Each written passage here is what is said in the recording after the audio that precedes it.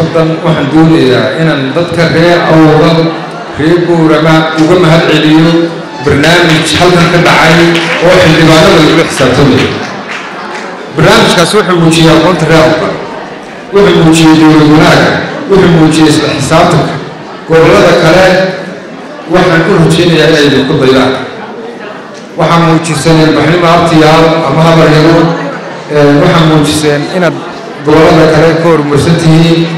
kiina aad doorateen ee kursiga ku fadhiya sidaad ugu xisaabtamaysaan xildhibaanada la wada xisaabtama oo golaha wakiiladana u yeedhinay kaga soo bilaabo madaxweyne ku-xigeenka cid kastoo awdal ku abtirsata halka soo fariisiya oo maxaa noo qabtay dhaxlaka ilaahay baa mahad leh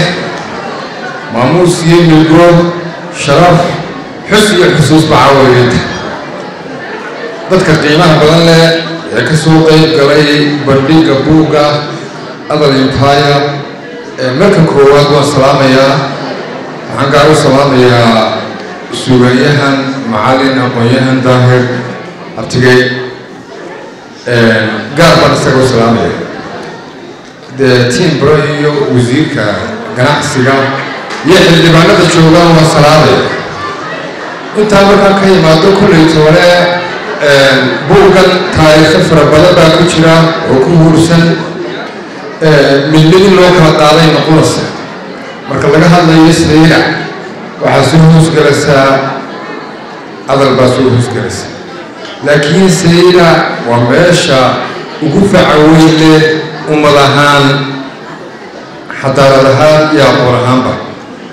Maanta waxaynu nahay ummad islaama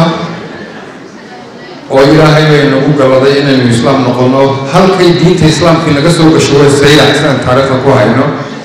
Xadaaraddu halkay naga soo gasho waa sayrac. Aqoontu halkay naga soo gasho waa sayrac. Ganacsigu halkay naga soo galo waa sayrac. Laakiin marka iminka la barbar dhigo magaalooyinka kale ee somalilan iyo soomaalida inteeda kaleba waxaa laga yaabaa in dad badani ay isweydiiyaan sayrac inay shalay ahayd. Maaha sayrac inay maanta muuqan weydo oo ay bugaag fara badan ku qornaan weyda iyadoleed kuma laha laakiin dadkeeda ayaa aqoontooda lixdankay ku simantay haddii uu bortuqiis jiray ama isbaanis jiray ama maxay ahayde nimanka ingiriiska la yidhaahdaa oo ay afrika ku soo duulayeen ay magaalooyin ka soo dhaqaaqayeen sayrac waxay ka mid ahayd magaalooyinkii ay ka soo ka soo tegayeen dadkaasi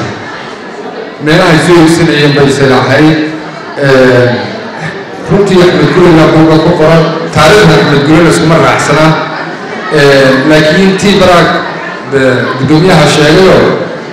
wuxuu yidhi haddii aynu ognahay halkuu ku dhashay murayaanu inaga geli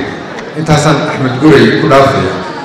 marka laga hadlayo buuggan xaggiisa dambe waxaa ku qoran haldoorkii suugaanta ee gobolka awal horta anigu waxaan ahay xasan saleebaan dhuxul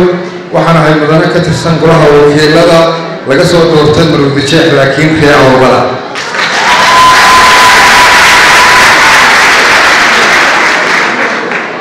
markaan leeyahay ree awbal baan ahay in badan oo halkan caawa fadhida. Dee daahan waanu kala laakiin halkaan ku barbaaray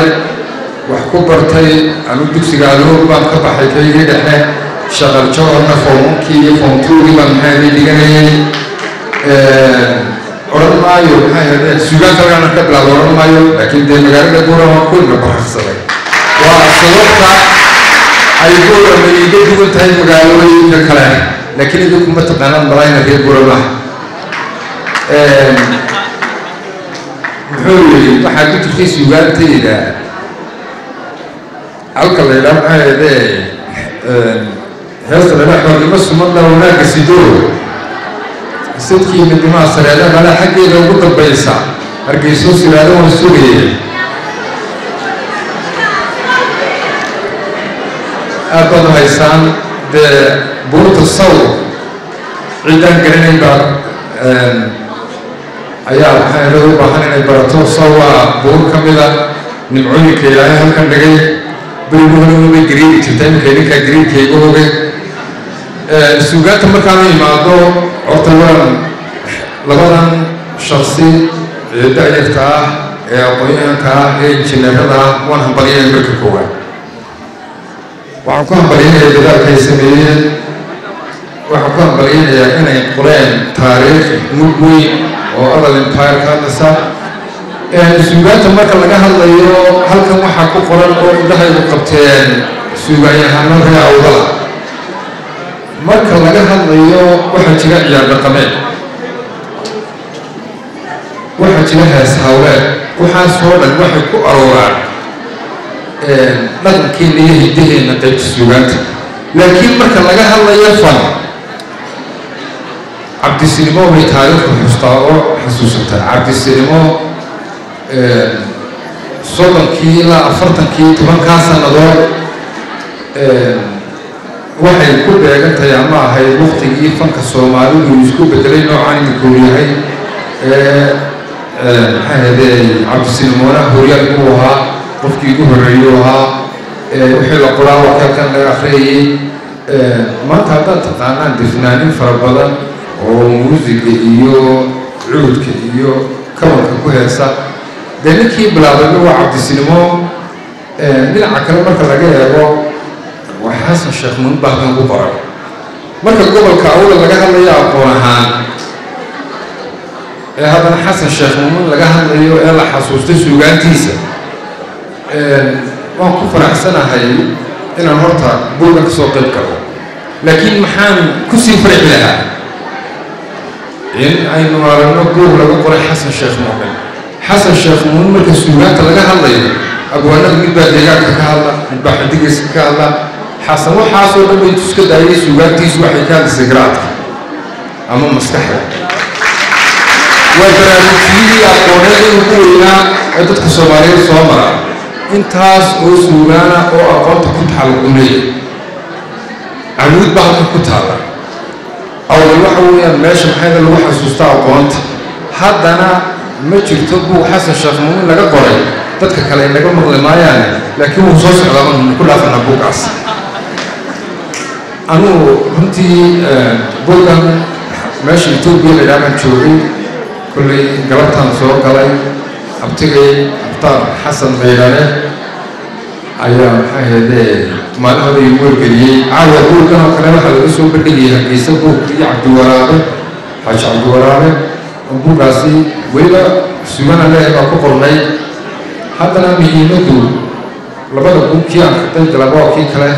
laakiin ballanku waxaa inaan kan aan ka soo qayb galo haddii uu buuqu ku taxalluqi lahaa suugaan fara badan oo ka hadli lahaa taariikhdana ma doonayaan magaalada sayra iyo adal empire iyo inaan runtii maxay dhahaan u sii dhex waayo sheekha dee aad uga hadlay taariikhuhuna inta badan qur'aanka waxaad ku aragtay in qodobo fara badan ay noo sheegay jidkii ay ku halaagsameen ee qaarkood raaceen waxaynu ognahay in taariikhdu tahay dhaxalka ugu weyn ee ummada deehan karto innagu taariikhda aada uma eegno sababtuna wax kale maaha waxaynu nahay ummad inta badan dee jiritaankeeda aqoonagaad u kooban yahay adduunyada waxay isu gumaystaan dadku siday u kala taariikha wen yihiin anugu kolley ree awdal marka laga hadlayo somalilan meelaha taariikh saxa looga iman karo weeyaan ee aqoon looga iman karo marka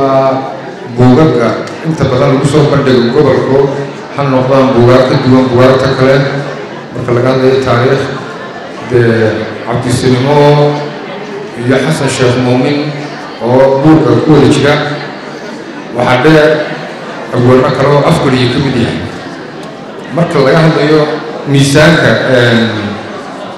ama culayska abwaaniinta afguriyo wuxuu ka mid ahaa dadkii taariikhda soomaaliyeed soo maray dadka ugu hereeda wanaagsan ee dhinaca farshaxanka. Halkan wuu ku qoran yahay abwaamid baa ku qoran ugaasuur baa ku qoran. Marka runtii halkan dee qolooyinkii igu horreeyey dee teetal bay hayeenoo guddoomiyuhuna konton bug buu qaatay wasiirkuna boqol buu qaatay annagana mala xaggii golahaya waxbaa dee iyana la tuumayaa waanu qaadan doonaa aniga mukhtaar waan isku tegiyo boqol buug ama golaha mageyn ama ama ana waa iska sharci. Ayaan qaadanaynaa